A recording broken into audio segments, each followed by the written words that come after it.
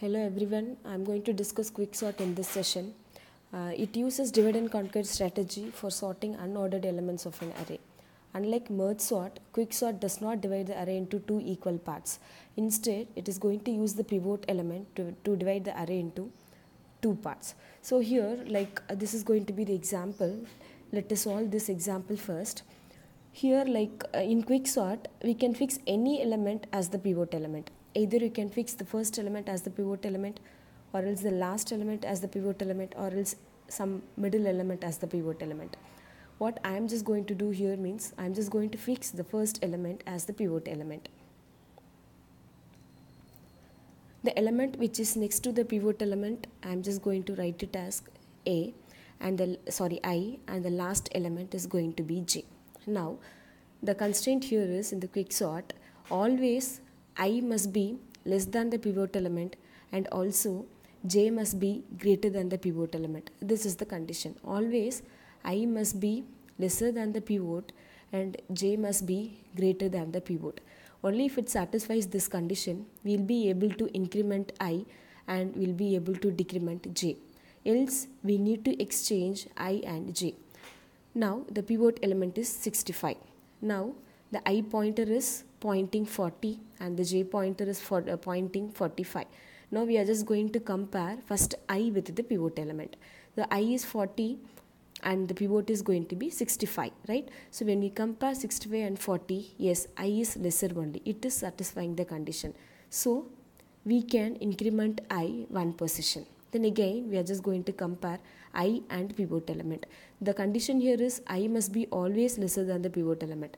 But here the i is greater than the pivot element. So since it is greater, we won't be able to increment the i pointer. So we can stop the i till here. Now we'll go to j part and check. So when we check j, the j must be always greater than the pivot element. But now here the j is lesser than the pivot element. So in that case, we cannot decrement j also. Only if the j is greater, we will be able to decrement j one position. Since it is lesser than the pivot element, we won't be able to decrement j now. Now, i also we cannot increment and j also we cannot decrement. In that case, what we do means, we will be exchanging the position of i and j. 65, 40, j will come here and i will go there j is 45 and i is 75 and 80 now i will be here and j will be here. And this is our pivot element. Now check again. Pivot element with i. Yes i is lesser so you can increment i now. Now the i value is 80 and the pivot is 65 when you compare i is greater. The i must be lesser but i is greater over here so we cannot increment i position. Now we go to J now. We'll stop I till here. Now we'll go to J now and check J along with the pivot element. When we compare pivot and J, yes it is greater. If it is greater, the J can be decremented. So we'll decrement J one position over here. And now the J is 80, right? Pivot element is 65. You compare 65 and 80 again. Yes, J is greater only. If it is greater, we'll be able to decrement J one position. Then again, j if you compare it is lesser now j you cannot decrement and also i you cannot increment. Now here you cannot exchange i and j. When you can exchange i and j means when your i is lesser than j then only you will, you will be able to exchange i and j. But here the j is greater than i. Since the j is greater than i you won't be able to exchange i and j.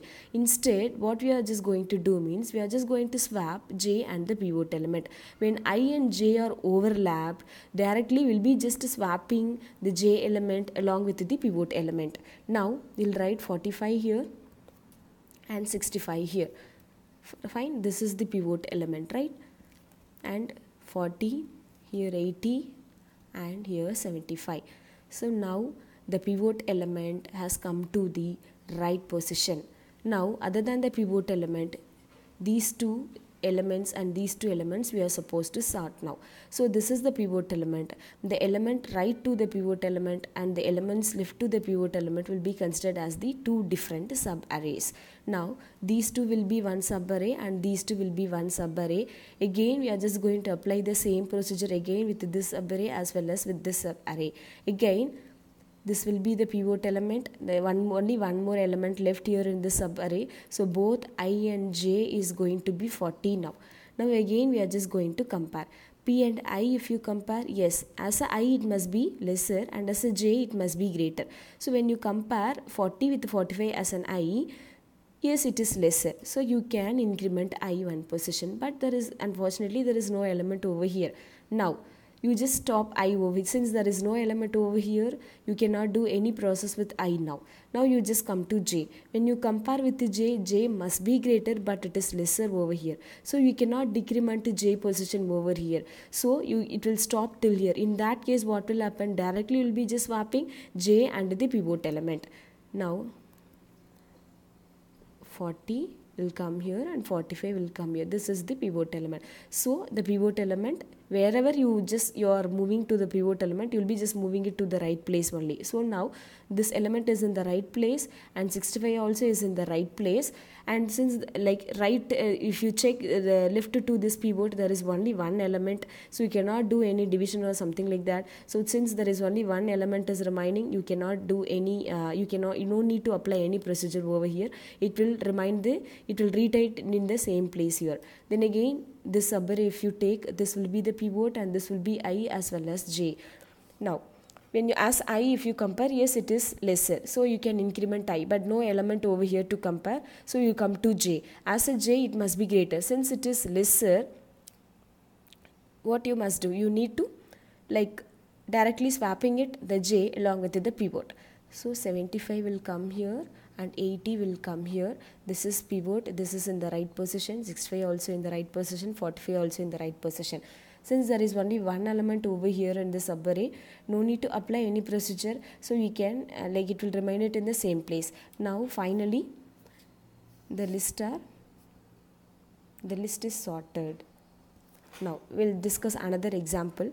Same again we are just going to fix the first element as the pivot element. Then the element next to the pivot is going to be i and the last element is going to be j.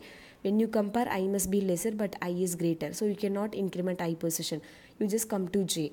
Compare pivot and j. Since the pivot is greater yes you can decrement j one position.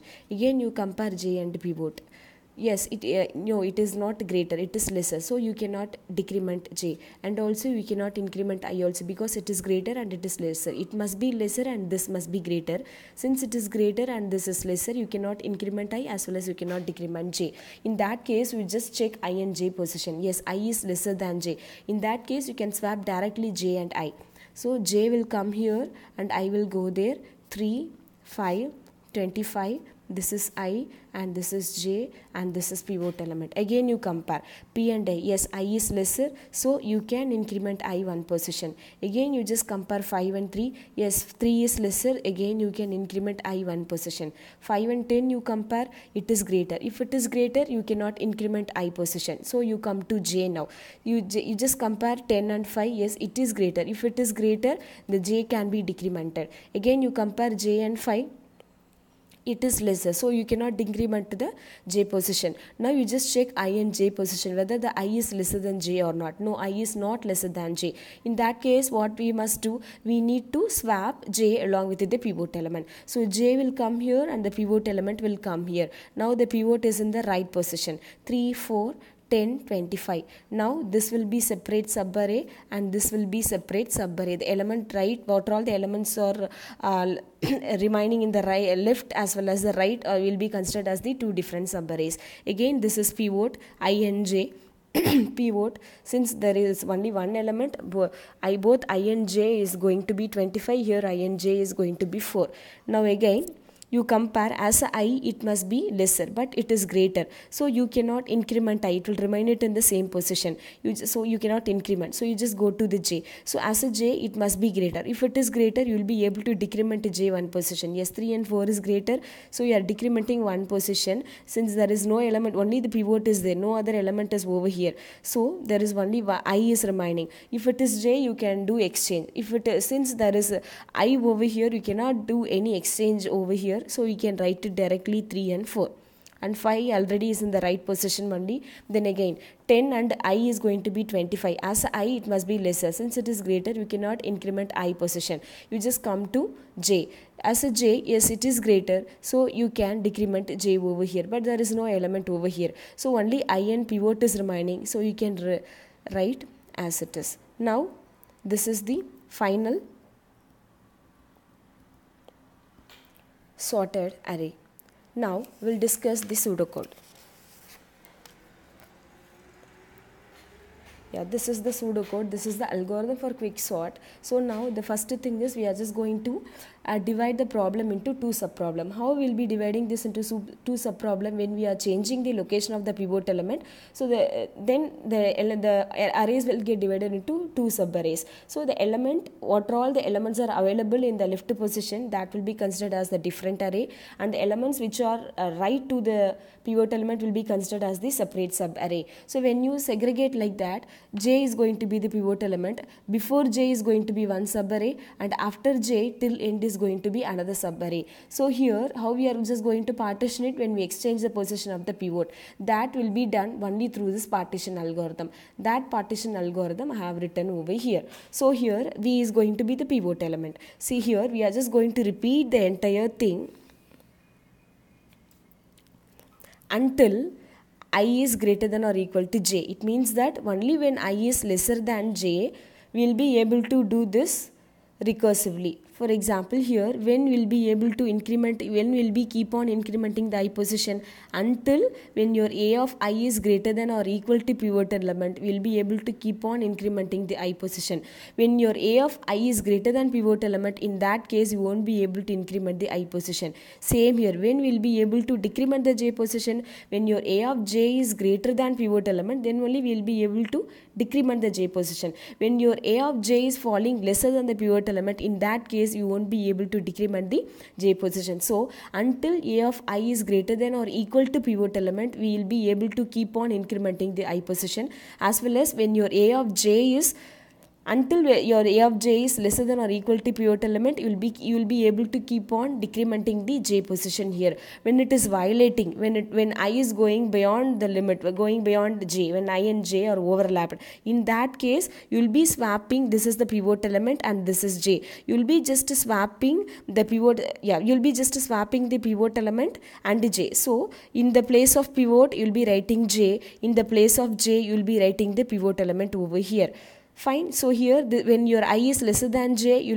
can directly exchange i and j. For exchange i have written the code over here. That is just a swapping process over here.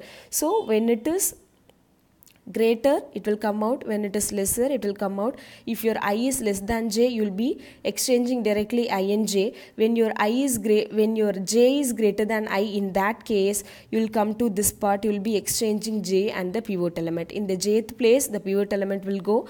In the in the pivot element place j will come. So finally it will return the sorted list. Thank you